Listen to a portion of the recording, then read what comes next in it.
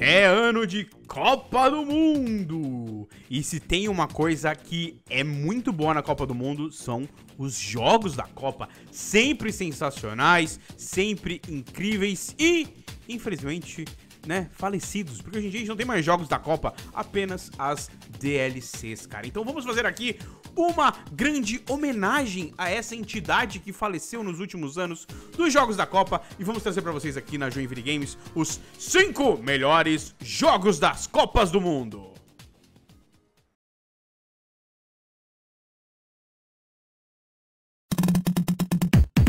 Primeiro jogo da nossa lista é o jogo da Copa de 98. Foi o primeiro jogo das Copas que a gente teve e é um jogo que se limita ao seu tempo. Óbvio, ele é da época ainda do PlayStation 1, então não tem gráficos tão bonitos e tal. Mas pra época que ele foi feito, é um jogo bem legal, muito bem feito e que engloba todo esse sentimento da gente ter de jogar a Copa do Mundo, que eu acho que é a parte mais importante dos jogos da Copa, é essa atmosfera, a gente ter isso. Então, lá era legal para aquela época tal, óbvio que, né, tendo em conta que todos os limites que a gente tinha de, é, é, de software, de hardware na época, né, cara? Então, nesse ponto sim, mas uma coisa que eu acho bem legal também é que na época não era tão comum a gente ter jogos com os nomes reais dos jogadores, né? Ainda tinha muito nome falso tal, não é igual hoje em dia, os jogadores têm tudo nome certinho e tal.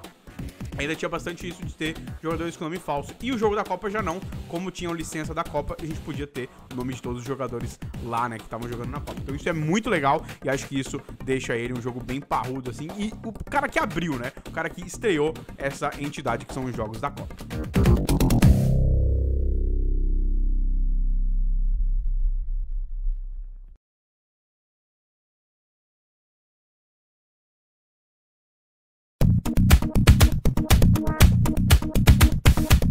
O segundo jogo da nossa lista é óbvio que é o jogo da Copa de 2002. Aqui a versão do PlayStation 2, GameCube e tal. Os consoles aí da nova geração daquela época, né, galera? Porque tem também a, a versão pra, pra geração antiga, pro Play 1 e tal. Mas é óbvio que eles são inferiores, eles são jogos mais datados. Mas sempre que saiu o jogo da Copa, é, principalmente nessa época que tava né, recém-lançada aí a nova geração, fazia alguns aninhos só que tinha sido lançada a geração do Play 2 e tal. Então é sempre legal porque sempre vem com uma inovação tecnológica muito grande em jogos da Copa, né? Então é muito da hora, é muito bem feito e já traz é, um pouco mais dessa atmosfera que eu falei que tinha no jogo de 98, né? Ele já tem mais é, é, coisas que fazem você olhar no estádio perceber que você tá no jogo da Copa tal. Essa época a gente já tinha bastante jogadores licenciados nos jogos normais, o da Copa também veio com isso, veio com os uniformes já mais bem feitos, né? Sendo que na versão do PlayStation 1 ainda era aquela galera quadradona tal, então o uniforme não parecia tanto ser o uniforme da vida real, aqui já não, já tinha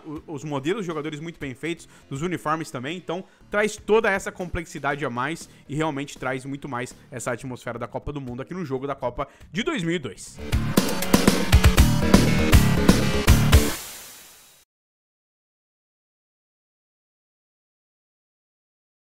O terceiro jogo da nossa lista é o jogo da Copa de 2006 e vocês estão vendo que parece que tem sempre esse negócio de inovação, né? Porque esse também já é o jogo da versão já do 360 e do PlayStation 3 e é sempre aquele jogo que abre mais ou menos a geração. Passam ali um, dois aninhos que a geração tá e ele vem aí com muitas novidades e foi a mesma coisa aqui pro Xbox 360 e Play 3. Esse aqui um pouco menos, tá? Foi logo ali que saiu realmente a nova geração, foi, não sei se foi no primeiro ou no segundo ano da geração. E ele já veio com várias novidades, se tornou um jogo assim bem diferenciado, bem é, é, com bastante coisa, né, para você realmente mostrar por que que vale a pena você jogar a nova geração aí do 360 e do PlayStation 3 para você mudar para jogos de futebol, né? Então muito da hora. Ele também já veio cada vez mais eles vão é, aumentando essa atmosfera, botando mais coisas que lembram as partidas. E nesse aqui também ele tinha um modo bem legal, que é aquele modo que você é, é, pode jogar Copas passadas ou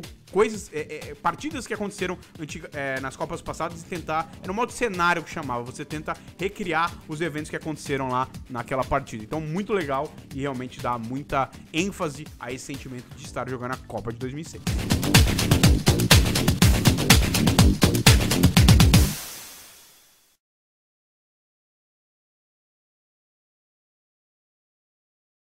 O quarto jogo da nossa lista, você vai achar que é o da Copa 2010, porque eu tô fazendo na ordem, você percebeu? Mas não. Eu vou colocar aqui o último jogo que a gente tem oficial da Copa, que é o da Copa de 2014, que foi muito bem feito, muito legal e tudo isso, só que ele já foi um jogo um pouco mais capado, eu diria. Ele também tem aí pro 360 e pro PlayStation 3. Não saiu pra nova geração, pra você ver como tem a diferença, né? Na nova geração a gente já teve uma DLC nos jogos da FIFA aí e tal, então a gente não teve o jogo completo.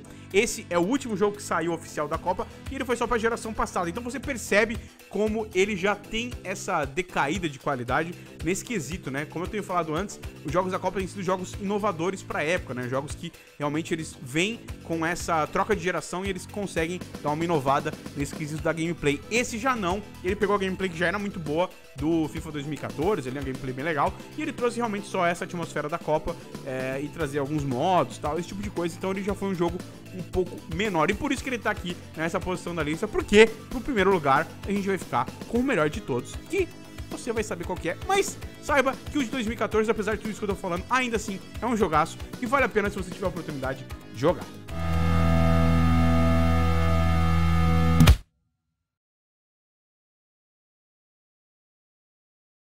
E pra terminar aqui, o quinto jogo aqui da nossa lista, e é o primeiro lugar aqui da nossa lista também, é ele, óbvio, que é o único que falta, é o jogo da Copa do Mundo de 2010. É isso aí, o jogo que teve a Copa na África, a primeira Copa da história da África, e ele é o melhor, cara. Ele é o melhor, porque ele ainda é no 360, né, como eu falei, 2006 também foi, mas ele trouxe a maior inovação da história do FIFA, que foi o novo estilo de gameplay. Ele foi o que iniciou aí esse novo estilo de gameplay que fez com que o FIFA superasse o PES aí, o Win Eleven nas vendas e até em popularidade, cara. Então, mano, realmente foi um jogo revolucionário para sua época e ele conseguiu mudar tudo. Além de ser um jogaço da Copa, cheio de coisas muito legais ali, com os modos tal, a atmosfera. A atmosfera dele é incrível, aquela parada da Vuvuzela que tinha na Copa 2010, né? Você joga todas as partidas e tem aquele som clássico da Copa lá, tem as músicas da Copa, tudo aquilo que a gente gosta muito da Copa 2010, né? Uma das melhores Copas de todos os tempos.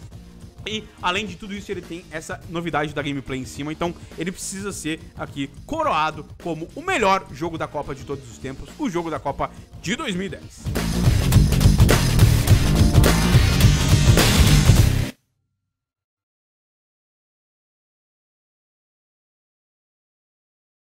Mas é isso aí, agora deixe aí nos comentários o que você achou dessa lista aqui. Infelizmente não tem outros jogos da Copa pra gente colocar aqui, a não ser que sejam jogos de Copa falsos aí que você tiver pra colocar, né? Tem alguns mods que a galera solta na internet. São legais, mas não são jogos oficiais, então eles não entram aqui nessa lista. Mas deixe aí nos comentários o que você achou, se faltou eu comentar alguma coisa sobre algum jogo, se eu comentei alguma coisa errada. Quero saber a opinião de vocês, beleza? Também não esquece de deixar aquele joinha maroto pra ajudar aqui na divulgação, não esquece de seguir as nossas redes sociais e também não esquece de se inscrever no canal, clicar no sininho e acompanhar todo todo outro conteúdo aqui do canal da Joinville Games, beleza? Então é isso aí, eu vou ficando por aqui. Um abraço pra todo mundo e também... EA Sports. It's in the game.